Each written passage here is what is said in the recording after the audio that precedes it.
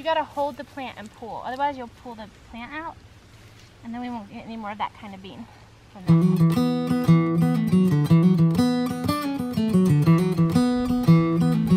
We're gonna talk about freezing green bean. I have made the executive decision that I'm not gonna blanch my green beans. What did I just say? I've put up many a green bean in my life, but I've never done it with four young children and I'm feeling completely overwhelmed with freezing or canning these beans because guess what? It's time to go pick them again. And guess what? I never finished picking them to begin with. So I'm not gonna blanch them. Now you may think that this is crazy. For those of you that don't know, blanching is whenever you take a fruit or vegetable and you quickly Okay, I'm not sure where I left off there. Anyway, Blanching is something that you do to prepare fruits and vegetables for freezing. And what it does, or what it is, is you bring a pot of water to a boil, you throw a small batch of the prepared beans or corn or whatever into the boiling water for so many minutes depending on what you're blanching.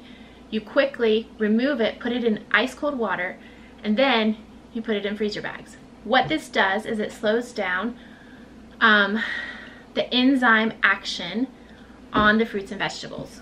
It's supposed to make your fruits and vegetables more nutritious, have a better color, and have a better flavor. I went online to remember the time to refresh my memory about how long to blanch green beans for and I came across quite a few interesting articles about mamas out there that aren't blanching their green beans and they're having perfect results.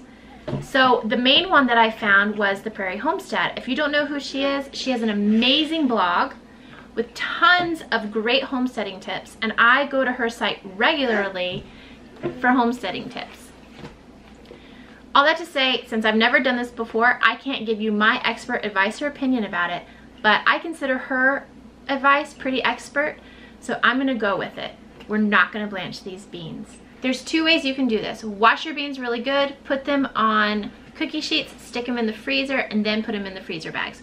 That to me, once again, is just a whole nother step, and I'm just not gonna do that. My beans are very clean. They're pretty much prepared. I'm just gonna cut them into the size that I want them to be in and stick them in the freezer bags. So I know a lot of you are gonna tell me that I'm crazy, that I'm ruining my harvest, but you know what? I actually have a friend who did this as well. I was just talking to her about it yesterday and she says she did it last year and all of her beans turned out perfect. Now I know in homesteading it's not really good to take shortcuts and I know that oftentimes shortcuts just lead to more work but shortcuts from people who are seasoned homesteaders and who have a bunch of little kids and they get it and they understand I will take that kind of advice and that kind of shortcut any day of the week.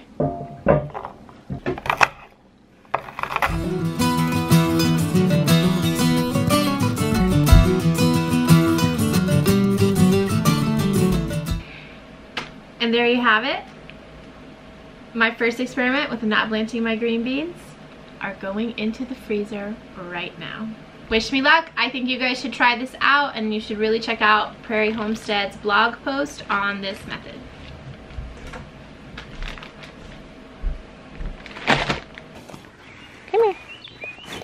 There we go. Do you like those?